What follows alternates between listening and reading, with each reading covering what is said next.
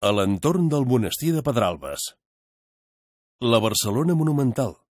A la zona alta de la ciutat s'alça el monestir de Pedralbes, una joia de l'arquitectura gòtica que dona nom a aquesta ruta. La plaça de Pedralbes, molt propera al monestir, destaca per l'harmonia dels seus edificis. Molt a la vora, la plaça del monestir dona accés al recinte religiós, un temple fundat al segle XIV per la reina Elisenda de Montcada, quarta muller de Jaume II. El lloc era conegut com a Petres Albes, origen del nom Pedralbes.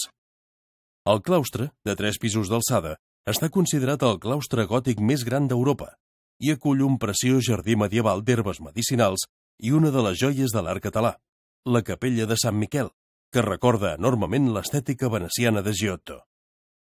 La carismàtica baixada del monestir condueix als jardins de la Creu de Pedralbes, presidits per la immensa creu de terme de reminiscències gòtiques situada en una columna de nou cares.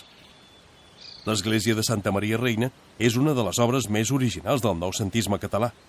El conjunt, de base clarament renaixentista, recorda la capella Pazzi, obra de Brunelleschi a l'església de la Santa Croce de Florència. El delicat modernisme de la Vila Helios és una obra de Manuel Joaquim Raspall, arquitecte que es va especialitzar en aquest tipus de viles d'estiueig.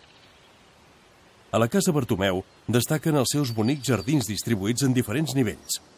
L'industrial Josep Bartomeu va dissenyar tota mena de detalls ornamentals d'inspiració musical a la planta noble, on hi ha una acollidora sala de música.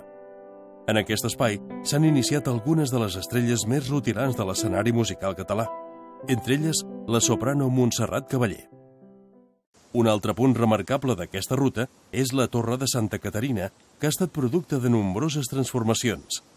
Datada entre els segles XVII i XVIII, presenta alguns elements gòtics que en fan suposar l'origen medieval.